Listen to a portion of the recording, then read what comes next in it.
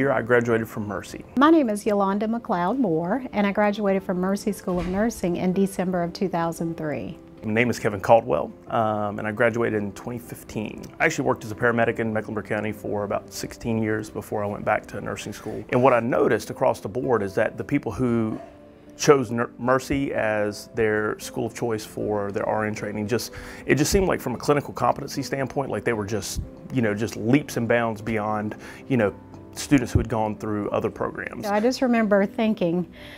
Am I going to be able to do this? I've been out of school for a while. It was really interesting to see, you know, the, how the, I guess, uh, how many, so many people had chosen their second career to be nursing, you know, and to hear those stories as to why, because I mean, most of them were really completely unrelated to healthcare. You had guys in engineering, you had guys in business. I think we all had varied backgrounds, but nursing all brought us together. My Mercy School of Nursing student uniform was a blue and white pinstripe top that had MSON in blue embroidered down the side. So we would wear those tops along with white pants, and that was our uniform. The student uniform, as far as the clinical rotations, uh, it was like a um, kind of like a Carolina blue type top um, and navy pants. So anytime we went to any type of a clinical rotation, you could instantly pick out who was from Mercy. You know, was, even though it was, you know, blue on blue, there weren't that many people who were wearing that. So it was always, you know, kind of like, oh, you're from Mercy, even if they're from a different class or whatnot. You kind of already had that bond. There were several along the way that each had their own quirks that helped me to really learn. Jo Andrea Costner being the first, I think, kind of intro to nursing instructor kind of really gave me that foundation I think that I needed to say, hey, this is the right field for me, gave me the confidence I needed when I was wondering, oh, I don't know if I'm going to pass this test or pass that test. But I would say that Jo Andrea really set the foundation and the framework for me. Lisi Turner, she knew everything. She was very well versed on all of the subject matter. Um, but also she had kind of this not, no nonsense type personality about her where these are the expectations.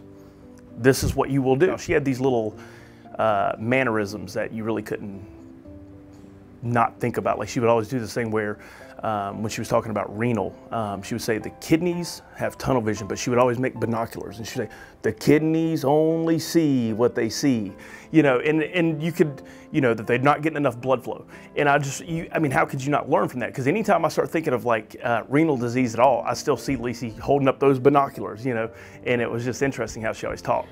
So I feel like I make a difference in healthcare. But I think what goes the longest way is when you're taking care of a patient and then they actually say, thank you for what you're doing for me. I think that just speaks volumes. And even when the patients couldn't speak for themselves, if their family members were there and could share with you what it meant for you to take care of their family member. You don't start to think about it, I don't think, in, in those I'm making a difference type things until you start to reflect on it and see, you know, when people are like, wow, I'm really glad to see it's you. You know, maybe they had a bad experience at another hospital. Maybe they had a bad experience previously, you know, or, you know, just weren't feeling very, you know, positive that day. But when you walk in, um, it's like all that negativity is kind of gone and they're like, wow, you know, I'm really glad to see it's you and they want to talk to you and, you know, kind of bring you up to speed. And it's not just like a report, it's more like a report. Yeah, what makes a Mercy nurse so special is just the education they got and then knowing that they have truly gone into clinicals and gotten into the trenches and really learned the art of nursing at its core. I think the fact that they just spent so much time